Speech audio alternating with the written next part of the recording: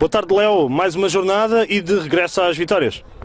Boa tarde. Sim, foi um jogo importante para nós conquistarmos estes três pontos. Na semana passada não correu assim como queríamos. Hoje aqui num campo bem difícil, o terceiro classificado, mas o Estrela jogou à Estrela. Sim, foi um campo difícil. Foi um jogo bem, bem disputado e nós, na raça, conseguimos levar os três pontos para casa. Para a semana, recuperar já em casa mais três pontos que perderam na semana passada? Sim, sim, isso é muito importante frisar que a partir de segunda-feira já, já vamos treinar e continuar a trabalhar para o jogo da próxima semana. Uma mensagem para estes adeptos que vieram aqui até Buscavido? Estes adeptos, como toda a gente sabe, são incríveis. Acompanham-nos a todo lado, nunca nos falta apoio. Próximo jogo, vais dar tudo como fizeste hoje nesta bela exibição?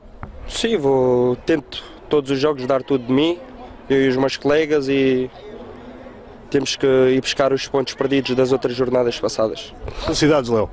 Muito obrigado. Felicidades.